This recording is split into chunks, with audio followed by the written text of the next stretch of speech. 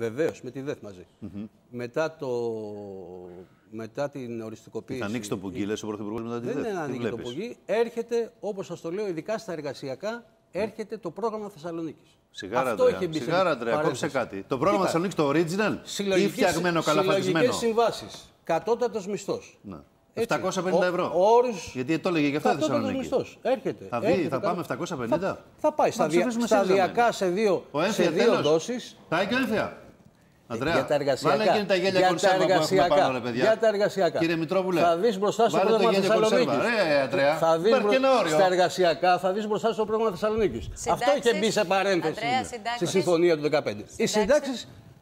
Τι να προσθέσω εγώ, το κα- καταλαβαίνετε και εσείς ότι είναι πάρα Συντάξεις θα πολύ πάρουν και δύσκολα. αύξηση. Θα πάρουν Πάρα αύξηση, πολύ Μαρία, όχι δύσκολο μόνο να περικοπή εφαρμοστούν θα οι μειώσεις. Λοιπόν, Τι και εννοείς, να εγώ δούμε βλέπω κιόλας πολύ μην δύσκολο έχουμε να μην επιπλέον εφαρμοστούν. παροχέ στι Τι συντάξει. επιπλέον, δηλαδή. Θα δούμε. Και αύξηση Μπορεί εσείς. να έχει μέρισμα, μπορεί να έχει εφάπαξ μια σύνταξη που θα το λέγεται δεκαετία. Αντρέα, θα δούμε. αδικήσε. Θα δούμε. Φοβάμαι. Το αδικούμε. Ε, Το ρεπορτάζ αδικήσε, σου βέβαια. λέω. Όχι, σου λέω πω πρέπει να πας στην Ρε, πολιτική. ρεπορτάζ σου λέω. Κατευθείαν. Για- ξέρω, γιατί σε αυτά που σχέση λες με τις είναι- συντάξεις, Είναι καυτό το ρεπορτάζ. Είναι καυτό. Μακάρι. Είναι αξιοσημείωτο το ότι έχουμε μια κυβέρνηση